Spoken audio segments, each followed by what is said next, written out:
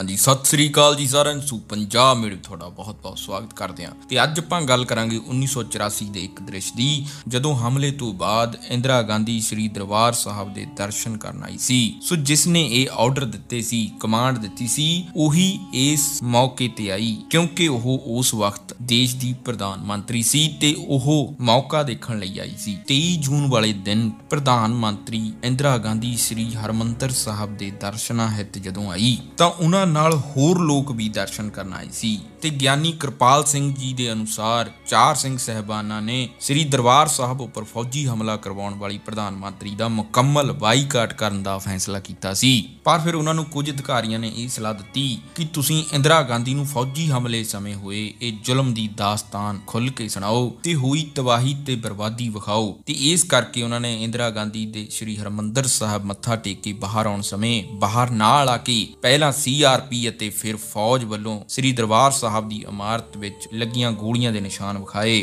ਤੇ ਫਿਰ ਪੁਲ ਤੇ ਖੜੇ ਹੋ ਕੇ ਦਰਸ਼ਨੀ ਡਿਊਟੀ 'ਚ ਗੋਲਿਆਂ ਨਾਲ ਹੋਏ ਮਗੂਰੇ ਦਿਖਾਏ ਤੇ ਕਿਹਾ ਕਿ ਖੱਬੇ ਹੱਥ ਉੱਪਰਲੇ ਕਮਰੇ 'ਚ ਸ੍ਰੀ ਦਰਬਾਰ ਸਾਹਿਬ ਦਾ ਤੋਸ਼ਾਖਾਨਾ ਹੈ ਤੇ ਹੇਠਲੇ ਕਮਰੇ 'ਚ ਸੋਨੇ ਚਾਂਦੀ ਦੀਆਂ ਦੋ ਪਾਲਕੀਆਂ, ਦਰਬਾਰ ਸਾਹਿਬ ਦੀਆਂ ਚਾਦਰਾਂ, ਗਲੀਚੇ, ਰੁਮਾਲੇ, ਚਾਨਣੀਆਂ ਜੌਰ ਤੇ ਹੋਰ ਸਮਾਨ ਦਾ ਸਟੋਰ ਸੀ, ਜੋ ਸਾਰਾ ਸਾੜ ਕੇ ਸੁਆਹ ਕਰ ਦਿੱਤਾ ਗਿਆ। ਤੇ ਸੱਜੇ ਹੱਥ ਹੇਠਲੇ ਕਮਰੇ 'ਚ ਹੈੱਡ ਗ੍ਰੰਥੀ ਸਾਹਿਬ ਦਾ ਦਫ਼ਤਰ ਤੇ ਉੱਪਰ ਖਜ਼ਾਨਾ ਹੈ। ਇਹਨਾਂ ਕਮਰਿਆਂ 'ਚ ਤਾਂ ਕੋਈ ਵੀ ਨਹੀਂ ਸੀ। ਇਹਨਾਂ 'ਚ ਟੈਂਕ ਤੇ ਤੋਪਾਂ ਦੇ ਗੋਲੇ ਮਾਰ ਕੇ ਇਹਨਾਂ ਨੂੰ ਫੌਜ ਨੇ ਕਿਉਂ ਤਬਾਹ ਕੀਤਾ? ਤੇ ਜਦੋਂ ਸਿੰਘ ਸਾਹਿਬ ਨੇ ਸ੍ਰੀ ਅਕਾਲ ਤਖਤ ਦੀ ਹੋਈ ਤਬਾਹੀ ਦਿਖਾਈ, ਗੁੰਬਦ ਦੇ ਸੋਨੇ ਚੜੇ ਪੱਤਰੇ ਉਖੜੇ ਤੇ ਡਿੱਗੇ ਹੋਏ ਵਿਖਾਏ। ਸਾਹਮਣੇ ਸਾਰੀਆਂ ਮੰਜ਼ਲਾਂ ਦੇ ਬੂਹੇ, ਬਾਰੀਆਂ ਤੇ ਛੱਜੇ ਟੁੱਟੇ ਭੱਜੇ ਦਿਖਾਏ। ਪਹਿਲੀ ਮੰਜ਼ਲ ਦੀ ਸੁਨਹਿਰੀ ਪਾਲਕੀ, ਰੁਮਾਲੇ ਤੇ ਸ਼ਾਸਤਰਾਂ ਬਾਰੇ ਬੇਰਵੇ ਸਹਿ ਦੱਸਿਆ ਤਾਂ ਇੰਦਰਾ ਗਾਂਧੀ ਨੇ ਇਹ ਕਿਹਾ ਕਿ ਬਾਹਾਂ ਤੋਂ ਖਾੜਕੂ ਛਿਪੇ ਹੋਏ ਥੇ। उन्होंने वहां ਕਿਲਾ ਬਣਾ ਲਿਆ ਥਾ ਤਾਂ ਇਹ ਸੁਣ ਕੇ ਸਿੰਘ ਸਾਹਿਬ ਨੇ ਕਿਹਾ ਕਿ ਪੰਜਾਬ ਦੇ ਬਾਕੀ ਗੁਰਦੁਆਰਿਆਂ ਵਿੱਚ ਤਾਂ ਖਾੜਕੂ ਨਹੀਂ ਸੀ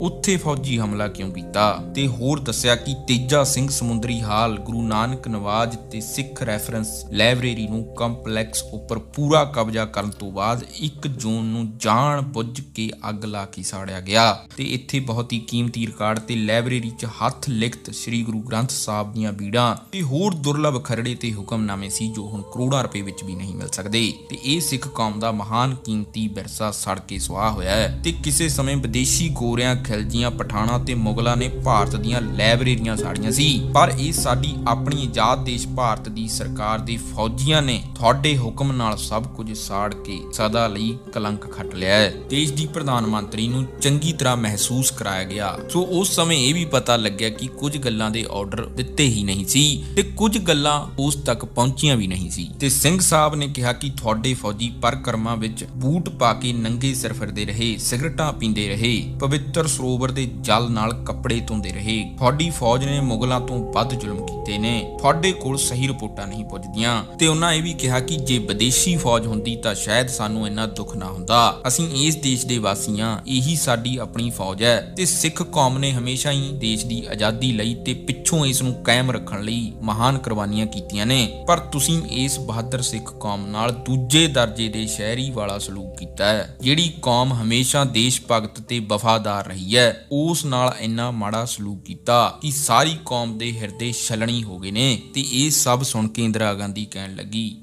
ਅਬ ਕਿਆ ਹੋ ਸਕਦਾ ਹੈ ਤਾਂ ਸਿੰਘ ਸਾਹਿਬ ਨੇ ਕਿਹਾ ਕਿ ਸ੍ਰੀ ਦਰਬਾਰ ਸਾਹਿਬ ਕੰਪਲੈਕਸ ਚੋਂ ਫੌਜ ਨੂੰ ਤੁਰੰਤ ਬਾਹਰ ਭੇਜ ਦਿਓ। ਤਾਂ ਉਸਨੇ ਕਿਹਾ ਇਹ ਤੋਂ ਮੁਸ਼ਕਲ ਹੋਗਾ ਜਰਨੈਲ ਨਹੀਂ ਮੰਨਦੇ ਤੇ ਉਸਨੇ ਕਿਹਾ ਕਿ ਮੈਨੂੰ ਜਰਨੈਲਾਂ ਨਾਲ ਗੱਲ ਕਰ ਲੈਣ ਦਿਓ। ਮੈਨੂੰ ਦੋ ਕੁ ਦਿਨ ਹੋਰ ਦਿਓ। ਤੇ ਇਹ ਐਕਸ਼ਨ ਤੋਂ ਬਾਅਦ ਸਿੰਘ ਸਾਹਿਬ ਨੇ ਫੈਸਲਾ ਕੀਤਾ ਸੀ ਕਿ ਸ੍ਰੀ ਦਰਬਾਰ ਸਾਹਿਬ ਵੱਲੋਂ ਕਿਸੇ ਨੂੰ ਵੀ ਸਰੋਪਾ ਨਾ ਦਿੱਤਾ ਜਾਵੇ। ਤੇ ਇਸੇ ਕਰਕੇ ਰਾਸ਼ਟਰਪਤੀ ਗਿਆਨੀ ਜੈਲ ਸਿੰਘ, ਕੇਂਦਰੀ ਮੰਤਰੀ ਸ੍ਰੀ ਬੂਟਾ ਸਿੰਘ ਤੇ ਪ੍ਰਧਾਨ ਮੰਤਰੀ ਇੰਦਰਾ ਗਾਂਧੀ ਨੂੰ ਸਰੋਪਾ ਨਹੀਂ ਪਾਇਆ ਗਿਆ। ਹੋਰ ਤਾਂ ਕਿਸੇ ਨੂੰ ਕੀ ਪਾਉਣਾ ਸੀ? ਸੋ ਸਾਡੇ ਗੁਰੂ ਘਰਾਂ ਵਿੱਚ ਕਿਸੇ ਨੂੰ ਸਰੋਪਾ ਪਾਉਣਾ ਬਹੁਤ ਮਾਣ ਤੇ ਸਤਿਕਾਰ ਵਾਲੀ ਗੱਲ ਹੁੰਦੀ ਹੈ। ਪਰ ਉਸ ਸਮੇਂ ਪ੍ਰਧਾਨ ਮੰਤਰੀ ਨੂੰ ਮੌਕੇ ਤੇ ਸਭ ਕੁਝ ਦਿਖਾਇਆ ਗਿਆ ਤੇ ਚੰਗੀ ਤਰ੍ਹਾਂ ਅਹਿਸਾਸ ਵੀ ਕਰਾਇਆ ਗਿਆ। ਤੇ ਜਦੋਂ ਪ੍ਰਧਾਨ ਮੰਤਰੀ ਨੇ ਇਹ ਸਾਰਾ ਹਾਲ ਦੇਖਿਆ, ਤਾਂ ਉਸ ਨੂੰ ਇਹ ਡਰ ਸੀ ਕਿ ਜਦੋਂ ਸੰਗਤਾਂ ਇੱਥੇ ਆਉਣਗੀਆਂ, ਤਾਂ ਇਹ ਸਾਰਾ ਹਾਲ ਦੇਖ ਕੇ ਸੰਗਤਾਂ ਦੇ ਅੰਦਰ ਸਰਕਾਰ ਲਈ ਬਹੁਤ ਨਫ਼ਰਤ ਪੈਦਾ ਹੋ ਸਕਦੀ ਹੈ। ਸੋ ਇਸ ਨੂੰ ਜਲਦੀ ਤੋਂ ਜਲਦੀ ਠੀਕ ਕਰਵਾਇਆ ਜਾਵੇ।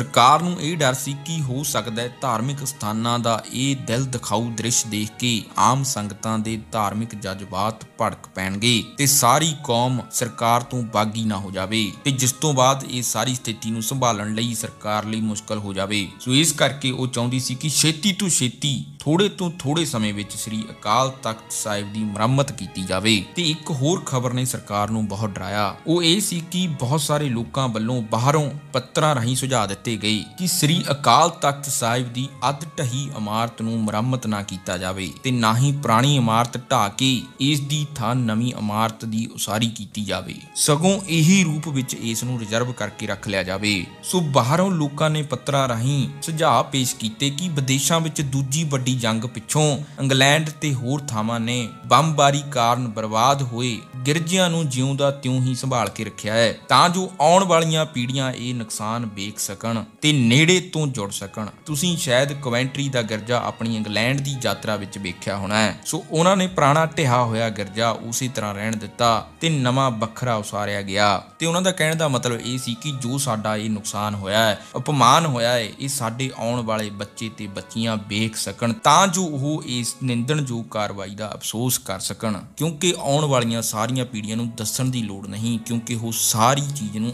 ਅਸਲੀਅਤ ਵਿੱਚ ਦੇਖ ਸਕਣਗੀਆਂ। ਤੇ ਉਹਨਾਂ ਦਾ ਕਹਿਣਾ ਸੀ ਕਿ ਨਵੀਂ ਇਮਾਰਤ ਨੂੰ ਅਲੱਗ ਜਗ੍ਹਾ ਤੇ ਜਾਂ ਇੱਕ ਪਾਸੇ ਉਸਾਰ ਲਿਆ ਜਾਵੇ। ਸੋ ਇੱਥੇ ਸਿੰਘ ਸਾਹਿਬ ਦੱਸਦੇ ਨੇ ਕਿ ਪਹਿਲਾਂ ਤਾਂ ਇਹ ਸੁਨੇਹੇ ਪੱਤਰਾਂ ਰਾਹੀਂ ਆਉਂਦੇ ਸੀ, ਪਰ ਬਾਅਦ ਵਿੱਚ ਕਈ ਕਾਲੇ ਸੱਜਣਾ ਨੇ ਅਖਬਾਰਾਂ ਵਿੱਚ ਵੀ ਭੇਜ ਦਿੱਤੇ। ਤੇ ਇਸ ਤੋਂ ਬਾਅਦ ਸਰਕਾਰ ਨੇ ਕਿਹਾ ਕਿ ਤੁਸੀਂ ਛੇਤੀ ਤੋਂ ਛੇਤੀ ਘੱਟ ਤੋਂ ਘੱਟ ਸਮੇਂ ਵਿੱਚ ਸ੍ਰੀ ਅਕਾਲ ਤਖਤ ਸਾਹਿਬ ਦੀ ਮੁਰੰਮਤ ਜਾਂ ਨਵ ਨਿਰਮਾਣ ਕਰੋ। ਜਿੰਨਾ ਸਮਾਂ ਇਹ ਸੇਵਾ ਸੰਪੂਰਨ ਨਹੀਂ ਹੁੰਦੀ ਉਹਨਾਂ ਸਮਾਂ ਪ੍ਰਬੰਧ ਲਈ ਕਿਸੇ ਅਣਸੁਖਾਵੀ ਘਟਨਾ ਨੂੰ ਰੋਕਣ ਲਈ ਫੌਜ ਕੰਪਲੈਕਸ ਦੇ ਅੰਦਰ ਰਹੇਗੀ। ਕਿਉਂਕਿ ਉਹਨਾਂ ਨੂੰ ਪਤਾ ਸੀ ਕਿ ਜੇਕਰ ਪੁਰਾਣੀ ਇਮਾਰਤ ਇੱਥੇ ਖੜੀ ਰਹੀ, ਤਾਂ ਆਉਣ ਵਾਲੀਆਂ ਪੀੜ੍ਹੀਆਂ ਵਿੱਚ ਸਾਡੇ ਲਈ ਬਹੁਤ ਨਫ਼ਰਤ ਪੈਦਾ ਹੋਵੇਗੀ। ਤੇ ਇਸ ਦੇ ਨਾਲ ਹੀ ਤੁਹਾਨੂੰ ਇੱਕ ਹੋਰ ਦਿਲ ਦਹਿਲਾ ਦੇਣ ਵਾਲੀ ਗੱਲ ਦੱਸਦੇ ਹਾਂ। ਸਿੰਘ ਸਾਹਿਬ ਦੱਸਦੇ ਨੇ ਕਿ ਅਸੀਂ ਆਉਂਦਿਆਂ ਤੇ ਜਾਂਦਿਆਂ ਕੁਝ ਅਜਿਹੀਆਂ ਕਾਰਪੋਰੇਸ਼ਨ ਦੀਆਂ ਕੂੜਾ ਢੋਣ ਵਾਲੀਆਂ ਗੱਡੀਆਂ ਦੇਖੀਆਂ, ਜਿਨ੍ਹਾਂ ਵਿੱਚ ਇਨਸਾਨੀ ਲਾਸ਼ਾਂ ਲੱਕੜਾਂ ਵਾਂਗ ਲੱਦੀਆਂ ਹੋਈਆਂ ਸੀ ਤੇ ਸਾਨੂੰ ਇਹ ਵੀ ਦੱਸਿਆ ਗਿਆ ਕਿ ਗਰਮੀ ਕਾਰਨ ਲਾਸ਼ਾਂ ਬਹੁਤ ਹੀ ਖਰਾਬ ਹੋ ਗਈਆਂ ਨੇ ਤੇ ਉਹਨਾਂ ਵਿੱਚੋਂ ਬਹੁਤ ਬਦਬੂ ਆ ਰਹੀ ਸੀ ਤੇ ਜਿਸ ਕਰਕੇ ਕਾਰਪੋਰੇਸ਼ਨ ਦੇ ਸਫ਼ਾਈ ਕਰਨ ਵਾਲੇ ਮਜ਼ਦੂਰ ਵੀ ਚੁੱਕਣ ਤੋਂ ਇਨਕਾਰ ਕਰ ਰਹੇ ਸੀ। ਪਰ ਫੌਜ ਵੱਲੋਂ ਉਹਨਾਂ ਨੂੰ ਲਾਲਚ ਦਿੱਤਾ ਗਿਆ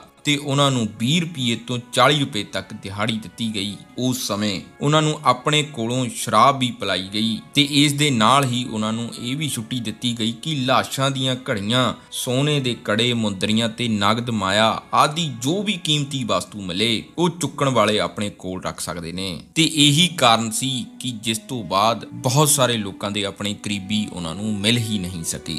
ਸੋ ਇਹ ਵੀ ਉਸ ਸਮੇਂ ਦਾ ਇੱਕ ਦ੍ਰਿਸ਼ ਸੀ ਜੋ ਤੁਹਾਡੇ ਸਾਹਮਣੇ ਪੇਸ਼ ਕਰਨ ਦੀ ਕੋਸ਼ਿਸ਼ ਕੀਤੀ ਹੈ, ਜੋ ਕਿ ਸਿੰਘ ਸਾਹਿਬ ਗਿਆਨੀ ਕਿਰਪਾਲ ਸਿੰਘ ਦੀ ਕਿਤਾਬ ਵਿੱਚੋਂ ਲਿਆ ਗਿਆ ਹੈ। ਸੋ ਬੇਸ਼ੱਕ ਉਹ ਇਮਾਰਤ ਨਹੀਂ ਰੱਖੀ ਗਈ, ਪਰ ਫਿਰ ਵੀ 37 ਸਾਲ ਹੋਣ ਤੋਂ ਬਾਅਦ ਵੀ ਇਸ ਨੂੰ ਅੱਜ ਤੱਕ ਕੋਈ ਨਹੀਂ ਭੁੱਲਿਆ, ਕਿਉਂਕਿ ਇਹ ਹਮਲੇ ਵਿੱਚ ਬਹੁਤ ਹੀ ਬੇਕਸੂਰ ਲੋਕ ਮਾਰੇ ਗਏ ਸੀ ਤੇ ਜਿਨ੍ਹਾਂ ਵਿੱਚ ਕੁਝ ਕੁ ਮਹੀਨਿਆਂ ਦੇ ਬੱਚੇ ਵੀ ਸੀ। ਤੇ ਤੁਹਾਨੂੰ ਦੱਸ ਦਈਏ ਕਿ 37 ਸਾਲਾਂ ਬਾਅਦ ਇਸ ਵਾਰ ਸ੍ਰੀ ਹਰਮੰਦਰ ਸਾਹਿਬ ਵਿੱਚ ਸਾਰੀ ਸੰਗਤ ਨੂੰ ਸ੍ਰੀ ਗੁਰੂ ਗ੍ਰੰਥ ਸਾਹਿਬ ਜੀ ਦੇ ਗੋਲੀ ਲੱਗੇ ਪਾਵਨ ਸਰੂਪ ਦੇ ਦਰਸ਼ਨ ਕਰਵਾਏ ਗਏ ਤੇ ਉਹ ਗੋਲੀ ਵੀ ਇੱਥੇ ਰੱਖੀ ਗਈ ਹੈ ਤੇ ਇਸ ਗੋਲੀ ਨਾਲ 90 ਅੰਗ ਜ਼ਖਮੀ ਹੋਏ ਸੀ। ਸੋ ਜਦੋਂ ਜੂਨ 1984 ਦਾ ਇਹ ਹਮਲਾ ਹੋਇਆ ਸੀ, ਉਦੋਂ ਇਹ ਪਾਵਨ ਸਰੂਪ ਸ੍ਰੀ ਹਰਮੰਦਰ ਸਾਹਿਬ ਵਿੱਚ ਪ੍ਰਕਾਸ਼ ਕੀਤਾ ਹੋਇਆ ਸੀ ਤੇ ਉਸ ਦੌਰਾਨ ਹੀ ਹੋ ਰਹੀ ਗੋਲੀਬਾਰੀ ਵਿੱਚੋਂ ਇੱਕ ਗੋਲੀ ਆ ਕੇ ਇਸ ਪਾਵਨ ਸਰੂਪ ਵਿੱਚ ਲੱਗੀ ਸੀ। ਸੋ ਬੇਸ਼ੱਕ ਅੱਜ 37 ਸਾਲ ਹੋ ਗਏ ਨੇ, ਪਰ ਇਸ ਪਾਵਨ ਸਰੂਪ ਦੇ ਦਰਸ਼ਨ ਕਰਨ ਤੋਂ ਬਾਅਦ ਹਰ ਕੋਈ ਇੱਕ ਵਾਰ ਉਸ ਸਮੇਂ ਵਿੱਚ ਜ਼ਰੂਰ ਜਾਵੇਗਾ ਤੇ ਬਾਕੀ ਰਹੀ ਸੰਤਾਂ ਦੀ ਲਾਈਫ ਤੇ ਵੀਡੀਓ ਦੀ ਗੱਲ, ਉਹ ਵੀ ਬਣਾਵਾਂਗੇ। ਪਰ ਉਸ ਲਈ ਥੋੜਾ ਟਾਈਮ ਲੱਗ ਸਕਦਾ ਹੈ, ਕਿਉਂਕਿ ਉਹਨਾਂ ਦੀ ਲਾਈਫ ਦੀ ਸਟੋਰੀ ਕੋਈ ਆਮ ਇਨਸਾਨ ਦੀ ਸਟੋਰੀ ਵਰਗੀ ਨਹੀਂ ਸੀ। ਸੋ ਉਹਨਾਂ ਦੀ ਜੀਵਨੀ ਬਾਰੇ ਬਹੁਤ ਕੁਝ ਕਵਰ ਕਰਨਾ ਪਵੇਗਾ। ਸੋ ਇਸ ਕਰਕੇ ਸਮਾਂ ਲੱਗ ਸਕਦਾ ਹੈ। ਸੋ ਬਹੁਤ ਸਾਰੇ ਲੋਕਾਂ ਨੂੰ ਇੱਕ ਤੋਂ ਚੱਲੇ 6 ਤੱਕ ਹਮਲੇ ਬਾਰੇ ਤਾਂ ਪਤਾ ਸੀ, ਪਰ ਇਸ ਬਾਰੇ ਨਹੀਂ ਪਤਾ ਸੀ। ਸੋ ਅਸੀਂ ਅਕਸਰ ਕਹਿੰਦੇ ਰਹਿੰਦੇ ਹਾਂ ਕਿ ਸਾਡੇ ਬੱਚਿਆਂ ਨੂੰ ਇਤਿਹਾਸ ਬਾਰੇ ਨਹੀਂ ਪਤਾ, ਜਾਂ ਫਿਰ ਉਹਨਾਂ ਦੀ ਇਤਿਹਾਸ ਤੇ ਘੱਟ ਪਕੜ ਹੈ। ਸੋ ਇਸ ਵਿੱਚ ਉਹਨਾਂ ਦਾ ਕੋਈ ਕਸੂਰ ਨਹੀਂ, ਕਿਉਂਕਿ ਜ਼ਰੂਰੀ ਨਹੀਂ ਕਿ ਹਰ ਕਿਸੇ ਦਾ ਕਿਤਾਬਾਂ ਵਿੱਚ ਇੰਟਰਸਟ ਹੋਵੇ। ਸੋ ਇਸ ਕਰਕੇ ਸਾਨੂੰ ਆਪਣਾ ਇਤਿਹਾਸ ਡਿਜੀਟਲ ਟੀਵੀ ਸੀਰੀਅਲਸ ਤੇ ਮੂਵੀਜ਼ ਤੱਕ ਲੈ ਕੇ ਜਾਣਾ ਚਾਹੀਦਾ ਹੈ। ਬੇਸ਼ੱਕ ਇਹ 3D ਜਾਂ ਐਨੀਮੇਸ਼ਨ ਹੀ ਹੋਵੇ, ਤਾਂ ਜੋ ਆਉਣ ਵਾਲੀ ਜਨਰੇਸ਼ਨ ਨੂੰ ਸਮਝਣ ਤੇ ਸਮਝਾਉਣ ਲਈ ਸਾਨੂੰ ਆਸਾਨੀ ਹੋਵੇ। ਸੋ ਇਸ ਤਰ੍ਹਾਂ ਕਰਨ ਨਾਲ ਆਉਣ ਵਾਲੀ ਪੀੜ੍ਹੀ ਵਿੱਚ ਹਰ ਤਰ੍ਹਾਂ ਦੇ ਲੋਕਾਂ ਨੂੰ ਇਤਿਹਾਸ ਬਾਰੇ ਤਾਂ ਪਤਾ ਹੋਵੇਗਾ। ਬੇਸ਼ੱਕ ਉਹਨਾਂ ਦਾ ਇਤਿਹਾਸ ਵਿੱਚ ਇੰਟਰਸਟ ਹੋਵੇ ਜਾਂ ਨਾ। ਸੋ ਇੱਥੇ ਕਿਸੇ ਇੱਕ ਧਰਮ ਦੀ ਗੱਲ ਨਹੀਂ। ਇਸ ਤਰ੍ਹਾਂ ਕਰਨ ਨਾਲ ਕਿਸੇ ਵੀ ਧਰਮ ਧਰਮ ਦਾ ਪ੍ਰਚਾਰ ਕਰਨਾ ਹਰੇਕ ਕੌਮ ਲਈ ਸੌਖਾ ਹੋ ਸਕਦਾ ਹੈ। ਸੋ ਹੁਣ ਤੁਹਾਡਾ ਇਸ ਬਾਰੇ ਕੀ ਸੋਚਣਾ ਹੈ ਕਿ ਇਸ ਤਰ੍ਹਾਂ ਕਰਨ ਨਾਲ ਧਰਮ ਤੇ ਇਤਿਹਾਸ ਦਾ ਪ੍ਰਚਾਰ ਜ਼ਿਆਦਾ ਹੋਵੇਗਾ ਜਾਂ ਨਹੀਂ? ਸੋ ਕਮੈਂਟਾਂ ਵਿੱਚ ਆਪਣੇ ਕੀਮਤੀ ਵਿਚਾਰ ਜ਼ਰੂਰ ਦਿਓ।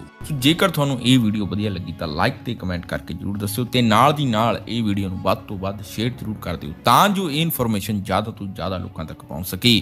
ਤੇ ਹਰ ਰੋਜ਼ ਮੋਟੀਵੇਸ਼ਨ ਦਾ ਡੋਜ਼ ਲੈਣ ਲਈ ਸਾਨੂੰ ਇੰਸਟਾਗ੍ਰam ਤੇ ਫੋਲੋ ਜ਼ਰੂਰ ਕਰਿਓ। ਉੱਥੇ ਹਰ ਰੋਜ਼ ਮੋਟੀਵੇਸ਼ਨ ਦਾ ਡੋਜ਼ ਮਿਲਦਾ ਹੈ। ਤੇ ਨਵੇਂ ਦੋਸਤਾਂ ਨੂੰ ਬੇਨਤੀ ਹੈ ਕਿ ਹੋ ਸਕੇ ਤਾਂ ਚੈਨਲ ਸਬਸਕ੍ਰਾਈਬ ਕਰ ਲਿਓ ਤੇ ਨਾਲ ਦੀ ਨਾਲ ਬੈਲ ਦਾ ਬਟਨ ਜ਼ਰੂਰ ਦੱਬ ਲਿਓ ਤਾਂ ਜੋ ਸਾਡੀ ਨਵੀਂ ਵੀਡੀਓ ਤੁਹਾਡੇ ਕੋਲ ਸਭ ਤੋਂ ਪਹਿਲਾਂ ਪਹੁੰਚ ਸਕੇ। ਥੈਂਕ ਯੂ ਧੰਨਵਾਦ।